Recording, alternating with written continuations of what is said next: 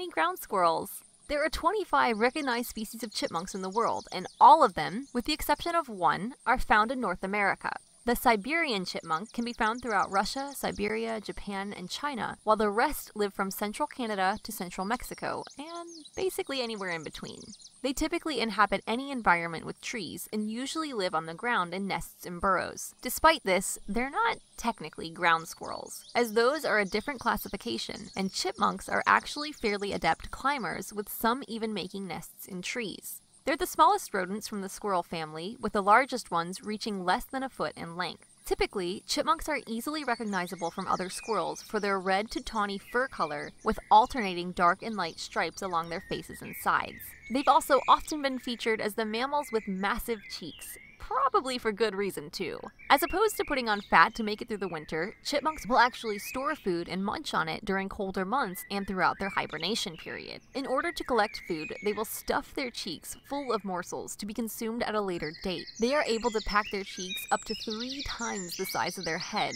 That's a lot of nuts! And fruits, berries, fungi, insects, eggs, baby birds, and possibly dead flesh? Ugh. Maybe not quite so cute now. Nah, still cute as heck. Depending on where they live, they will have one or two litters of pups per year, once in the spring and then again in the fall if they have a second litter. The females gestate or remain pregnant for about 30 days, and although they will fiercely protect their babies for the first two months of life, after that, they're on their own. And this is because chipmunks are relatively solitary creatures who only really come together for mating seasons.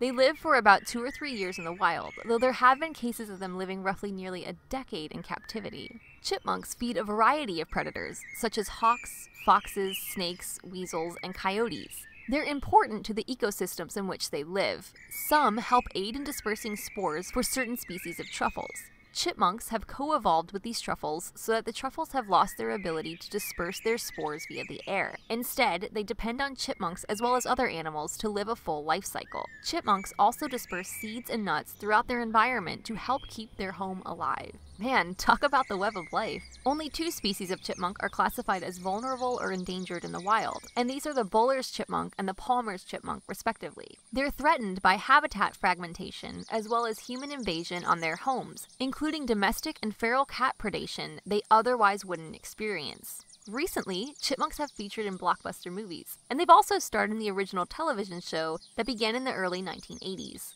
Symbolically, they represent trust, as they can be very trusting of humans. If one is seen, they can also represent the need to begin saving money, as they are collectors of resources. They're considered a nuisance by some, as they can destroy gardens and bird feeders, but are beloved by others for their adorable appearance and whimsical attitude. What do you think when you see a chipmunk? For more facts on chipmunks, look through the links in the description. Thank you for watching, and be sure to give a thumbs up.